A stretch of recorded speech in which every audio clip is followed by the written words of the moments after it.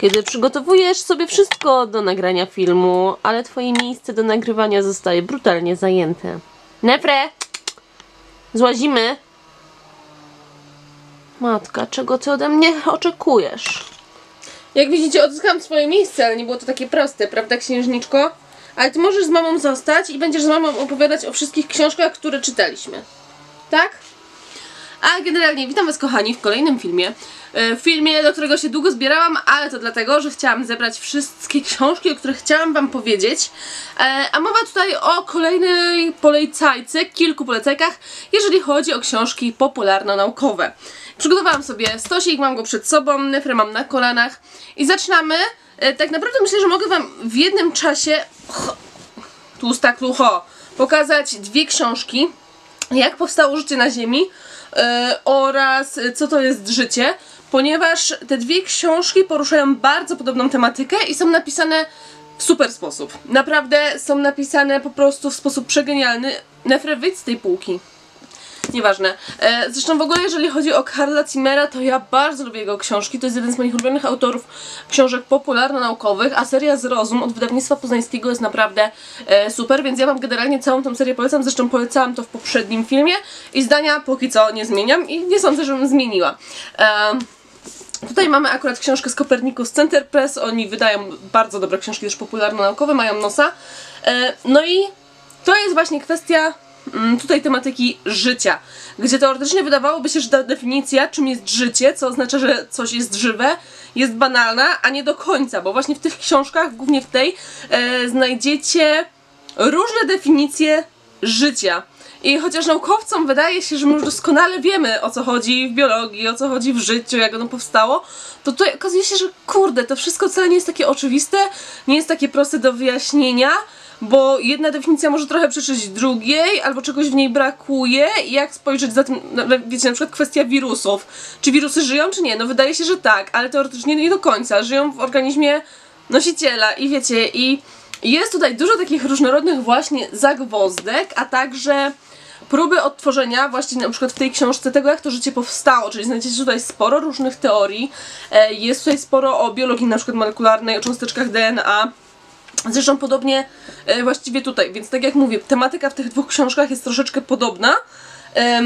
Obydwie są napisane w naprawdę świetny, jak dla mnie bardzo przystępny sposób, bardzo zrozumiały, mimo że wiecie, ja z biologią molekularną jestem po prostu za pan brat do, z kwestii mojego wykształcenia i tytułu naukowego, e, więc em, być może nie jestem najlepszą osobą do oceniania tego typu e, książek pod względem mm, przyswajalności wiedzy, ale wydaje mi się, że akurat tutaj naprawdę autorzy zrobili kawał dobrej roboty i jest to wszystko wyjaśnione w naprawdę e, bardzo, bardzo przystępny sposób.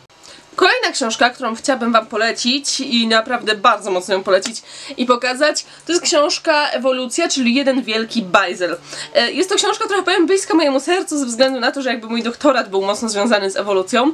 E, Może nie w takim ujęciu jak w tej książce, ale e, ewolucja ma różne oblicza i może się dotyczy, może się tyczyć jakby wielu rzeczy, ale wiecie, wydźwięk tej książki jest właśnie idealnym odzwierciedleniem tego, co ja kocham w ewolucji. Że kiedy wydaje nam się, że już wszystko doskonale wiemy, wiemy jak na przykład coś powstało, jak ewoluowała dana grupa, nie wiem, gatunków, coś, cokolwiek, nie? Jak już nam się wydaje, że mamy tą postawioną po prostu teorię, sprawdzoną, wszystko się zgadza, zawsze.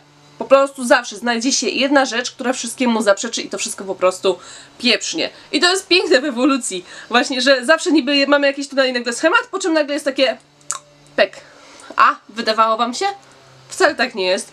I no, to, to jest piękny po prostu wydźwięk pracy w laboratorium i właśnie samej, tak jak mówię, e, ewolucji, że zawsze coś po prostu wyjdzie, wiesz, czy jak Filip z konopi i nikt nie wie na co, po co i dlaczego i w jaki sposób. I naprawdę e, jest ta książka napisana w sposób taki właśnie bardzo humorystyczny. E, Autor naprawdę chwilami to tam po prostu no, no, no, nie da się nie uśmiechnąć jak się to czyta. Podaje mnóstwo przykładów, tutaj jest w ogóle taki ogrom ciekawostek, fajnych informacji, e, różnych przykładów życia. Naprawdę bardzo, bardzo dobrze się to czyta. Tak jak mówię, chociaż książka jakby faktycznie mocno popularno-naukowa, wyjaśnia tam różne te zasady me i mechanizmy ewolucji, em, to pokazuje tak, że jakby wiecie, na przykład nie wiem, po co nam starość, nie? Że czy ewolucja na pewno zawsze działa w dobrym kierunku. E, No i mówię, mnóstwo takich ciekawostek, zresztą część z nich znajdziecie sobie tutaj e, na e, okładce wypisanych i nie sposób mi tutaj po prostu, wiecie, powiedzieć o wszystkich tematach, które są w tej książce poruszane, ale naprawdę była mega, mega przyjemną po prostu lekturą. Świetnie się przy niej bawiłam, a przy okazji naprawdę, e, jak jesteście takimi fanami pozyskiwania wiedzy ogólnej, no to to jest coś po prostu idealnego dla Was. Jestem e, mega naprawdę zadowolona, jeśli chodzi o lekturę tej książki. I teraz, jak już mówimy o takim podejściu humorystycznym do książek popularno-naukowych, to nie sposób Wam nie pokazać książki Śniadanie z cząstkami, czyli jak ugryźć fizykę kwantową z pączkiem na okładce. Widzieliście książkę o fizyce, która by miała na okładce pączka? Po prostu... Ale generalnie ta książka mogłaby się spokojnie nazywać e, Francesk w krainie kwantów. Naprawdę, to jest bez mała jak Alicja w krainie czarów, tylko mamy tutaj e, krainę kwantów, a nie czarów, nawet jest kot. Nie Szczeszer, tylko kot Schrödingera. Em, więc naprawdę pierwszy raz spotkałam się z książką, która o fizyce, która jakby wiecie jest, wydaje mi się, taką dziedziną nauki bardzo często nierozumianą, niedocenianą, nie chcę powiedzieć lekceważoną, ale nie znam chyba osobiście żadnego człowieka, który powie mi, że jego ulubionym przedmiotem w szkole była fizyka. I nie znam chyba też człowieka, który powie, wiesz co, fizyka kwantowa jest super ekstra, to jest takie proste w zrozumieniu. Nie jest. Sama fizyka nie jest prosta, e, fizyka kwantowa tym bardziej. Natomiast tutaj em, tą książkę napisali właśnie Frances Mirales i Sonia Fernandez Vidal. Sonia jest doktorem, czy profesorem nawet? Nie, ma tytuł doktora fizyki kwantowej z, y, na Uniwersytecie w Barcelonie zdobyła, a Francesc jest powieściopisarzem, dziennikarzem, e, który nie ma pojęcia jakby o tej fizyce kwantowej. No i mm, ta pani doktor od fizyki kwantowej stara mu się w bardzo przystępny sposób to wszystko wyjaśnić i ta książka jest napisana naprawdę, musi, musicie to przeczytać, żeby to odczuć, ale to jest jak pisanie takiej, wiecie, powieści zabiera was teraz wehikułem czasu do odkrywców tego i tego, zobaczcie jak wyglądały pierwsze eksperymenty e, właśnie z tego zakresu fizyki kwantowej, zabiera was do świata kwantów, do labiryntu, gdzie przewodnikiem jest wróżka kwantowa, która dopiero niedawno e, jakby uzyskała możliwość wprowadzania innych w to, pojawia się dużo właśnie takich postaci, które są jakby pewnym odzwierciedleniem pewnych rzeczy w tym świecie kwantowym. No, naprawdę powiem wam, fenomen. Nie spodziewałam się, że kiedykolwiek w moje ręce trafi książka o fizyce kwantowej napisana w taki sposób, że będzie miała taką formę. Fakt, że tutaj są poruszane głównie, wiecie, podstawowe pojęcia, tak? Mamy właśnie chociażby ten eksperyment kota Schrödingera, Schrödingera, Boże, jak się zachowują kwanty, e, no, eksperyment chociażby na przykład nie, jak było światło, czy jest falą, czy cząstką, więc generalnie raczej takie podstawy I teraz, czy to jest w pełni zrozumiałe, kiedy mamy taką formę? Mm, no, nie da się ukryć, że to nadal jest jakby, wiecie, trochę trudne, ale wydaje mi się, że tu jest to naprawdę zobrazowane w taki poruszający wyobraźnię sposób i da się to wszystko zrozumieć. Tutaj nie znajdziecie takiego mocnego, specjalistycznego języka. Tutaj to jest wszystko właśnie na jakimś przykładzie czegoś, co jesteśmy w stanie sobie od razu zwizualizować w taki codzienny sposób. Więc Wydaje mi się, że to jest idealna książka na początek waszej przygody z fizyką kwantową, jeżeli w ogóle ktoś ma ochotę taką zacząć. E, Ja lubię, bo lubię się sprawdzać i nie ukrywam, że ja, ja nie wszystko czaję z fizyki i fizyki kwantowej, aczkolwiek lubię się sprawdzać i lubię zgłębiać tą wiedzę w jakiś sposób, bo wiecie, jak czytam dziesiąty raz na przykład coś tam, no to w końcu jakby mój mózg ma takie coś, że zatrybił i aha, o to chodzi.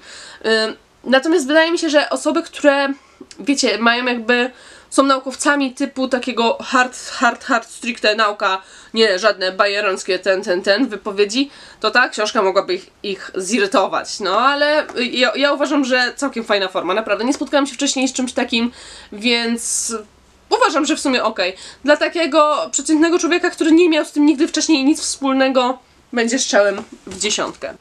Następna książka z zakresu biologii, serce, historia naturalna. E, kojarzycie, jak się w szkole musieliśmy uczyć tych wszystkich układów krwionośnych, budowy serca, ile komór, ile przedsionków, bla bla bla i tak dalej. U wszystkich grup, nie? Ryby, ptaki, ssaki, oho, i tak dalej. Jeżeli was to nudziło, to sięgnijcie po tą książkę i gwarantuję Wam, że ta tematyka Was teraz nie znudzi i zapoznacie się w zupełnie innym stylu. No gdyby Birszat prowadził naukę biologii w szkołach, to myślę, że byłoby wiele fanów tego przedmiotu.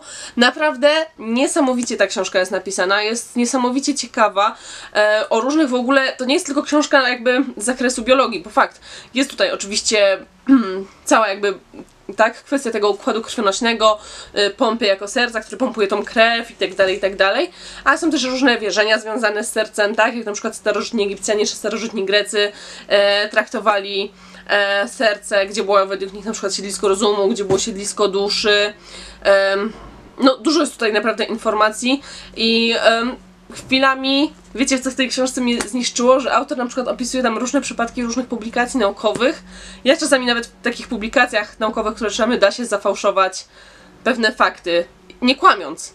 Jakby, tak? Nie kłamiąc, tylko jakby zatajając nieco e, prawdę. Głównie tutaj chodziło o to, że pozyskuje się ze staroraków, które raczej e, są zagrożone wyginięciem. Mm, z, z ich serca pozyskuje się po prostu e, tak, y, nie, nie chcę powiedzieć wyciąg, nie pamiętam teraz dokładnie o co, y, tam mm, nazwy. Y, W każdym razie no, jest zagrożona jakby partia, tak, zwierząt.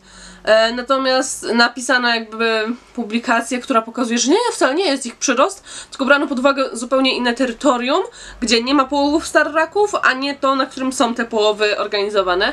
Więc no to było takie trochę, wiecie, no nie- niefajne, tak, że nawet da się te publikacje naukowe gdzieś tam w taki sposób zafałszować. Natomiast sama książka naprawdę bardzo przyjemna e, w odbiorze, taka napisana z pasją, po prostu widać, że napisana jest przez człowieka, który po prostu uwielbia to, co robi i się fascynuje tym tematem, więc jak najbardziej Wam e, polecam. I no, tą sobie zostawimy na koniec, bo ona nie jest z zakresu biologii, a jeszcze mam z zakresu biologii tutaj trzy książki i po raz kolejny dwie mogę Wam pokazać równocześnie, ponieważ poruszają tę samą tematykę.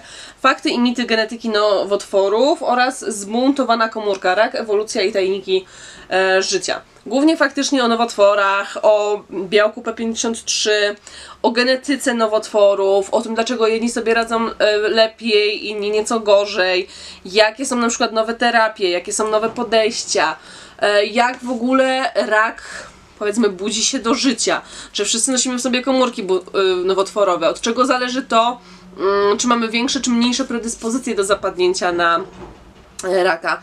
E, Jak to w ogóle ewoluowało. Więc e, tak jak mówię, książki e, nawet są podobne objętościowo, wydaje mi się.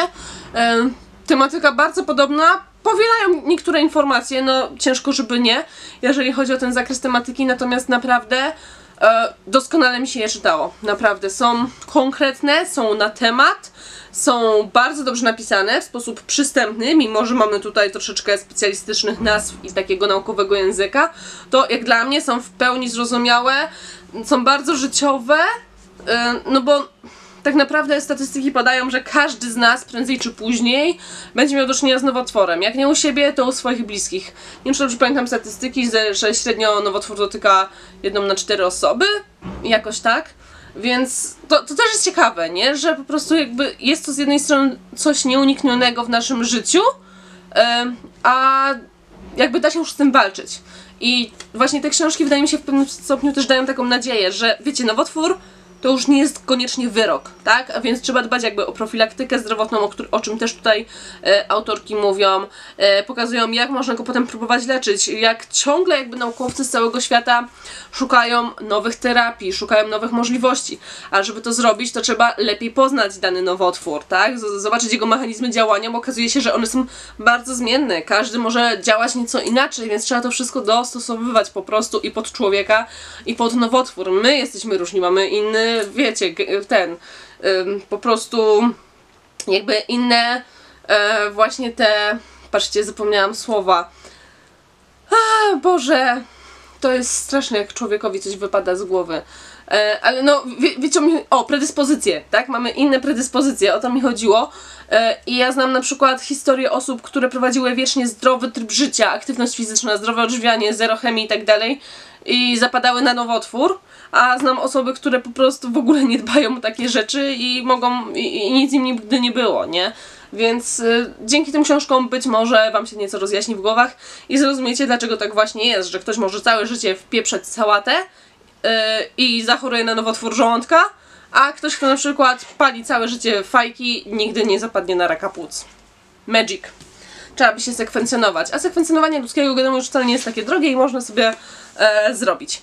E, no i książką, która mnie w ostatnim czasie mega urzekła, słuchajcie, jest książka Odporność Filipa Detmera. Co ciekawe, ten człowiek nie jest naukowcem. W ogóle nie ma nic wspólnego z nauką. Chyba poza tym, że napisał tę książkę. Najlepsze jest to, że polecajka z tyłu książki jest od Johna Greena, tego od Gwiazd Naszych Wina. Więc to jest w ogóle fenomen. Natomiast to, y, czym ta książka mnie urzekła, to przede wszystkim sposób przekazania tej wiedzy. Niesamowite. Mm, Po prostu porównywanie większości mechanizmów odpornościowych do jedzenia to jest po prostu, wiecie, e, tam było porównanie, jak dobrze pamiętam, przeciwciał, mm, antygen receptor, parówka hot dog, nie, na przykład. Więc e, to jest też, kurde, no znowu to, co było w e, przypadku tej książki, Boże, której tutaj, tej śniadanie z cząstkami, tak? Że jest to wszystko tutaj niby napisane jakby pod względem naukowym, bo mamy do czynienia z czymś naukowym, z biologicznym, z całym mechanizmem odpornościowym i z naszym układem odpornościowym, a jednak jest napisane w taki sposób, aby to zwizualizować na czymś, co każdy potrafi sobie wyobrazić i co go otacza na co dzień. Więc ym, znowu, forma przekazywania wiedzy w tej książce jest po prostu przegenialna. I wiedzy jest tutaj ogrom, bo w ogóle no, jakby nie patrzeć na układ odpornościowy ma w sobie sporo elementów, które tutaj było trzeba opisać, ale nie wiem, czy to zobaczycie, ale tutaj są też niesamowicie fajne, kolorowe grafiki. O, na przykład tutaj. Książka jest naprawdę przepięknie w ogóle wydana. O, o, o, kolejne. Widzicie, tu wszędzie są takie bardzo ładne em, grafiki. Jest to oczywiście specjalistyczne nazewnictwo, no bo wiecie, nie nazwiecie inaczej limfocytów T niż limfocyty T.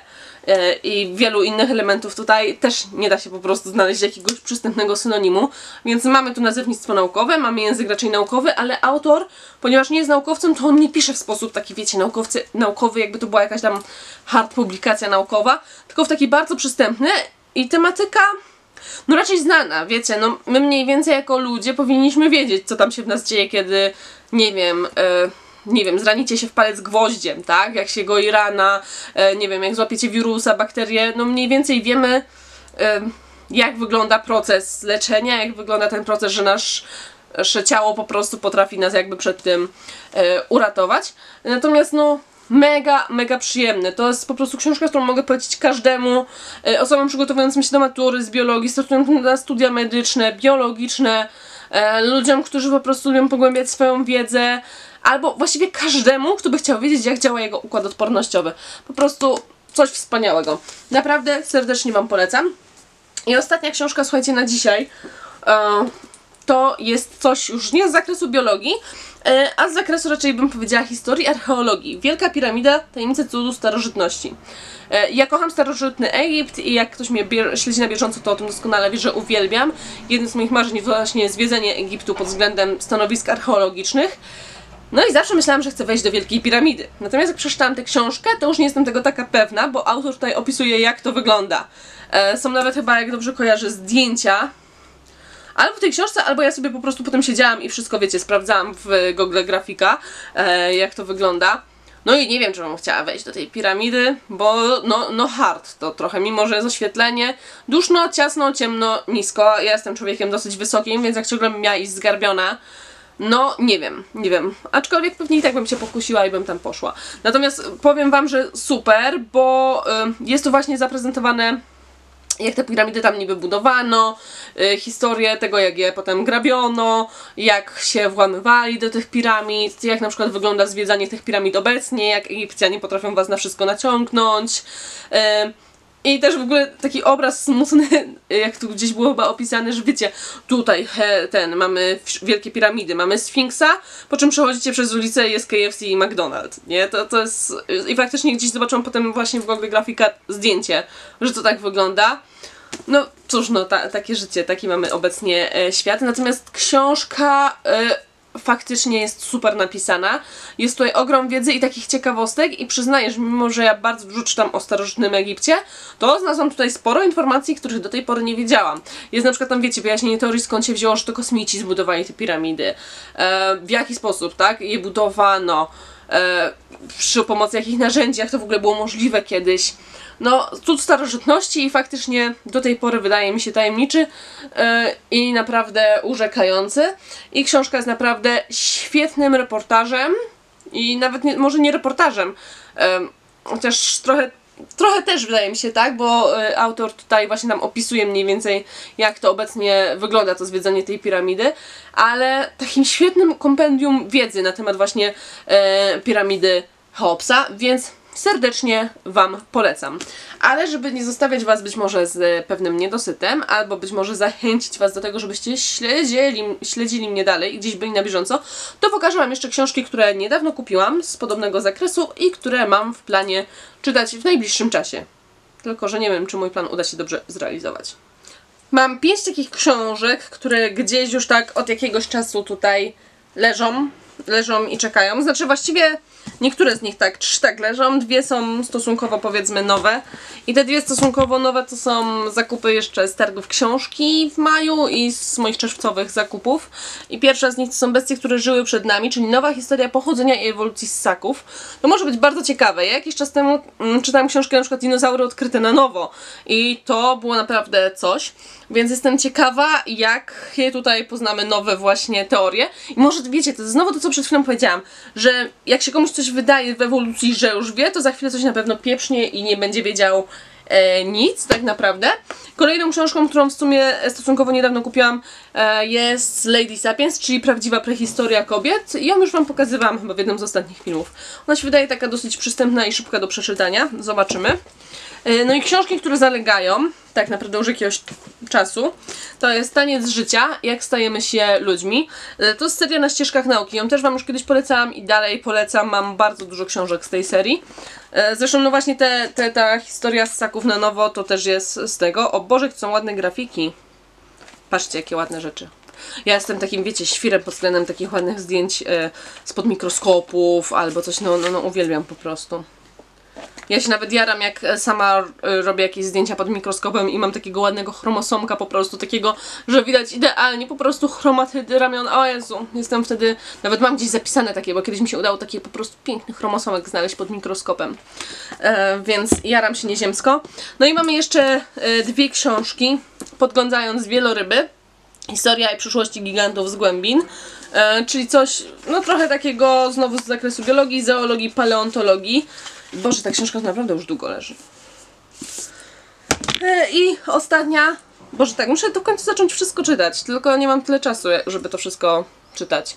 A jeszcze mam na półkach położone książki, które chcę czytać. To jest straszne. Powinnam mieć, myślę, rok urlopu, żeby się odrobić z tego, co nakupowałam i żeby to przeczytać. Naprawdę, to jest fenomen. W każdym razie, e, piąta książka to jest lepsza połowa o genetycznej wyższości kobiet. Tak, bo ja jak teraz mam syna, mam Simbę, ja nigdy nie miałam kocura, ale ja widzę, że z chromosomem Y jest po prostu coś nie halo. Naprawdę, jest diametralna różnica. Dziewczyny, dwa Xy i Simba XY. Z Y jest coś nie halo. Em, bez urazy panowie. No to, to, no to nie nam brakuje jednego ramienia w jednym chromosomie, tylko wam. Em, no i generalnie żeński chromosom Y, wiecie, yy, że, Boże, żeński chromosom X ma e, tak naprawdę ponad 1000 genów, a na Y, jak dobrze pamiętam, jest jakieś koło 70? Więc to wy macie niedobory, a nie my. Nie no, generalnie tak sobie e, żartuję, ale wiecie, są, my, my często na, gdzieś tam na uczelni zdajemy się w ten sposób e, przekomarzamy, że Y jest coś nie ten. No, e, natomiast jestem no generalnie naprawdę bardzo ciekawa tej książki, więc e, zobaczymy. Więc myślę, że w najbliższym czasie możecie się spodziewać, znaczy no dobra, nie powiem w najbliższym czasie, ale to jest plan, tak? Jakby najbliższy mój plan, jeżeli chodzi o książki popularno-naukowe, to te pięć pozycji. Dajcie znać koniecznie w komentarzach, czy czytaliście coś z tych książek, które Wam dzisiaj pokazałam, czy będziecie po nie sięgać, albo dajcie znać na przykład, czy czytaliście ostatnio jakąś fajną książkę popularno-naukową, która być może mi umknęła, a Was naprawdę e, zachwyciła. Dzięki za oglądanie i do następnego.